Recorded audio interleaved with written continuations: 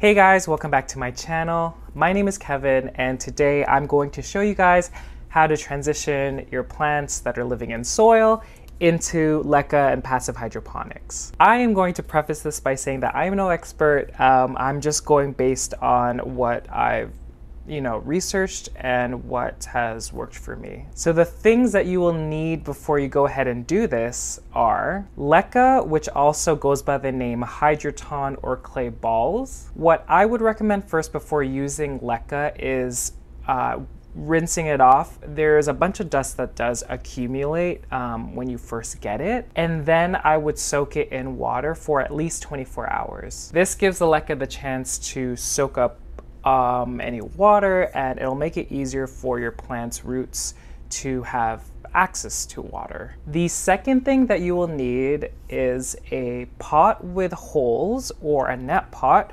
So you can use just a normal nursery pot. I'm using this plastic pot that I got from Ikea and a container or a pot with no drainage holes just so it could hold on to the nutrient solution and um, act as a nutrient reservoir. I'm going to use these two pots here, but you could also use um, self-watering pots. I have the majority of my collection in these self-watering pots, so they're not necessarily made for passive hydroponics and LECA, but as you can see, you have the catcher pot here, you have this wick that goes into the net, I guess net pot, and it wicks up water into the leca and therefore into the plant's roots. The third thing that you'll need are nutrients for your nutrient solution. There are so many brands out there, but I use the General Hydroponic uh, three-part series, and I'm not going to get into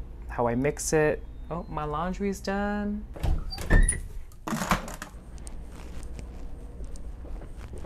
Anyways, I'm not going to get into how I mix my nutrient solution, but one of the key things that you need to make sure is that the nutrient solution's pH is between 5.5 to 6.5. This range is usually the range that plants like to live in, and um, it's it has to do with the ability for certain nutrients to be absorbed by the roots and the plant, essentially. And what you need to measure that is either a pH um, tester over here or an electronic uh, pH test meter, I think. Is that what they're called? Anyways, I've already tested this. This is at a happy 5.5. So yeah, I feel like I'm forgetting something, but we're just gonna jump into it now. I forgot to mention the plant that I am transitioning into passive hydroponics.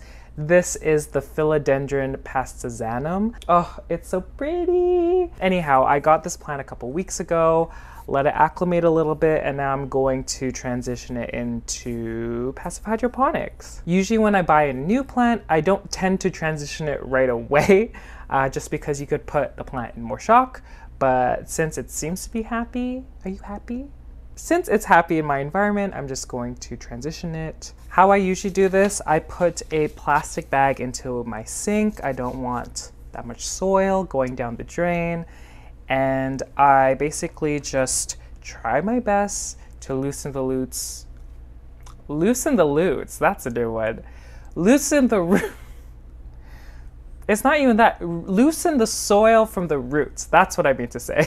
um, yeah, so I'll just show you, just kind of squeeze the edges here, and then I kind of just pour it here. Ooh. Okay.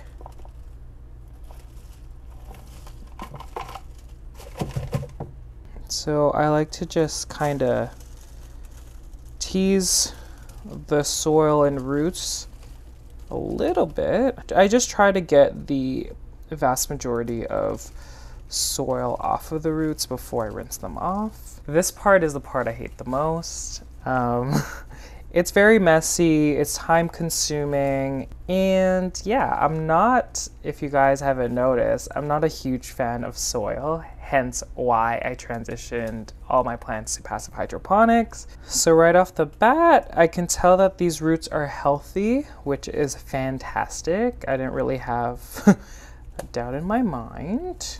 Okay, so that's the best that I can do for now. Um, I'm just going to clean up a little bit, get rid of the bag, and then I'm gonna run the faucet just over the roots just to get rid of any excess soil. If y'all could see that. Another thing, guys, you will lose a bunch of roots when you do this. Um, depending how how, mu how much the roots are just clinging onto the soil or whatever substrate it's in, I find that sphagnum moss is like a real like, pain to get off of roots.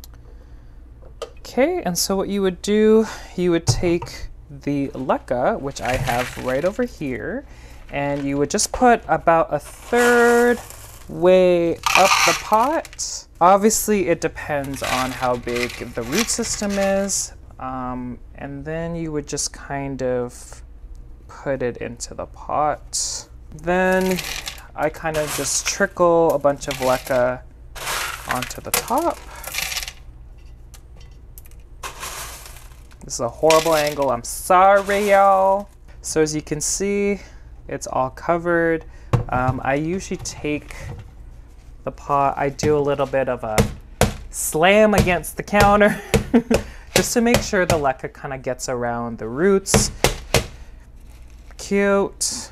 And I mean, it looks cute. Okay, so from here, what you need to do is to take your nutrient solution and you want to pour it over just until it hits about a third ways up. I could kind of see through the space here and we're not there yet. Okay, we're there. All you need to do is put this plant in a, you know, in where, oh my gosh, I'm dropping everything. what you need to do is just place this plant in a I find a place with high humidity and a lot of bright indirect light usually does the trick and reduces the stress on the plant. So again guys, thanks for watching. If you want to see progress on this plant, please let me know. And yeah, thanks for watching. Bye! Sorry guys, turning on the camera again, because I forgot to mention, um, once you have your plant, you should change the nutrient solution every two weeks. Um, this can change depending where your plant lives. So some people do every week, some people do every three weeks. I do a lovely medium of every two weeks. Okay, I think that was it. Bye guys.